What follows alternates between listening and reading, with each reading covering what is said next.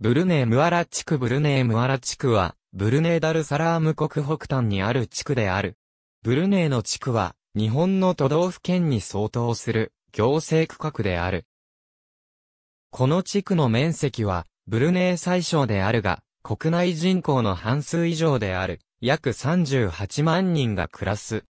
ブルネーの首都であるバンダルスリブ川があるため、同国で最も重要かつ賑やかな地区である。バンダルスリブ川は、ブルネームアラ地区の行政庁所在地を兼ね、政府の省庁や部局の本部などが中心街に立ち並ぶ。他の主要な都市としては、ムアラジュルドンがある。ムアラは、同国最大かつ最も水深のある港を持つ。北岸は、南シナ海、東岸は、ブルネー湾に面し、南は、マレーシアサラワク州のリンバン、西は、ツトン地区と接する。すべての地区は軍を持つ。その軍はさらに村に分割されている。ブルネームアラ地区は、地区長によって統治され、それぞれの軍は、ペンフルという軍長、村は、ケトゥアという村長に統治される。現在の地区長は、ダトパドゥカーワンハジモハマドユソップ、ビンバカーである。首都バンダルスリブガワンは、いずれの軍にも属していない。星印のある軍は、カンポンアイールに含まれるもの。オマールアリー・サイフディエム3世の死生下では、ブルネームアラ地区には17の軍があったが、ハサナル・ボルキアの時代に、ブルネームアラ地区の軍は見直された。ブラカス軍は急速な居住空間とインフラの発達のため、ブラカス A とブラカス B に分割された。一方、クンバンパサンは、キアンゲに吸収された。2007年7月には、ガドンが、北部のガドン A と南部のガドン B に分割され、18、軍になった。このうち6つは、カンポンアイルと呼ばれる、水上集落であり、一般に、水上集落で一つの軍とみなされている。しかし行政上の理由で、別個の軍として扱われる。この地区には3つの大学が本部を置いている。この地区は、公立、私立を問わず、小学校から中等学校、そして高等教育機関まで数多くの学校がある。インターナショナルスクールも2校ある。国家の先導的な理科大学であるパドカ、スリブガワンスルタン理科大学もまたこの地区にある。ブルネーの国立図書館である、デワンバハサ、ダンプスタカ図書館の本館がこの地区にある。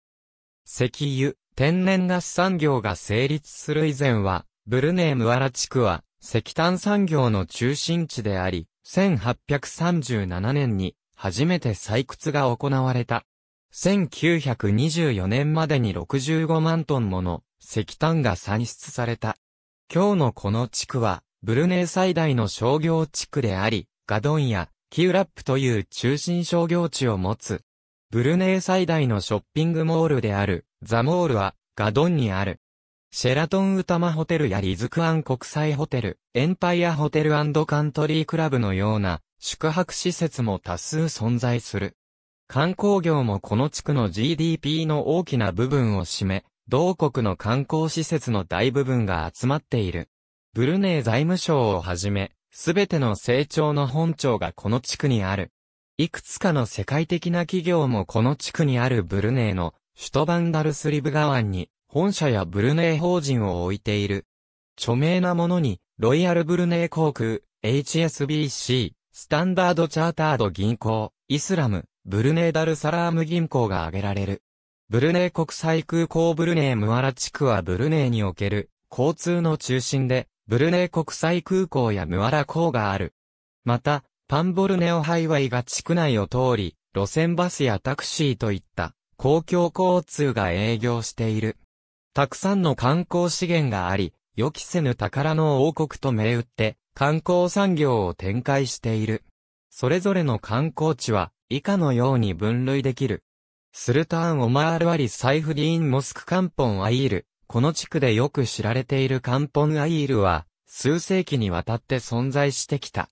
1997年の推計人口では、約3万人がカンポンアイールに住んでおり、29,140メートルに及ぶ人道橋で結ばれた文字通りの小さな村が形成されている。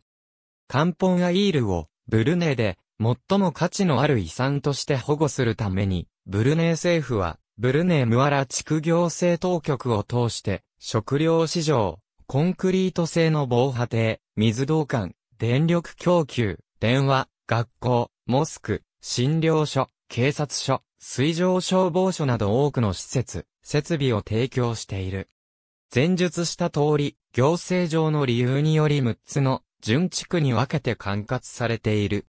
ブルネー湾には、ブルネームアラ地区に属する島がある。以下に、それを掲げる。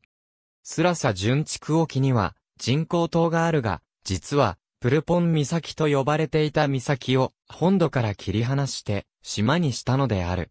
南シナ海にはブルネームアラ地区に属する島は二つある。一つはスンクロン準地区沖のプンギット島、もう一つはピースラサ準地区沖のプロンプロンガン島である。四つの主要な水系及び環洋域がブルネー国内にあるが、そのうちのブルネー川がこの地区を流れる。同川はムアラ港を越えて、ブルネー湾に注ぐ。川の上流は主要な淡水の供給源であり、特に国土の西半分にとって重要である。またこの川は、高度に都市化が進んだ地域とそうでない地域を分ける役割を果たしている。この川の流域にある町は、バンダルスリブ川湾をはじめ、すべてこの地区の中心をなす。密生したマングローブ林とニパヤシは、三角港付近の低地を覆うように群生し、豊かな沿岸漁業の漁場を育てている。ブラカス地域では、地下水の取水制限が設けられている。地下水の安全取水可能量は、年間1730万立方メートルと見積もられている。ブルネーには2つのダムがあり、貯水量は合計4501万3000立方メートルである。そのうち、多セク貯水池の貯水量は1万3000立方メートルで、給水地域は2.8平方キロメートルである。ありがとうございます。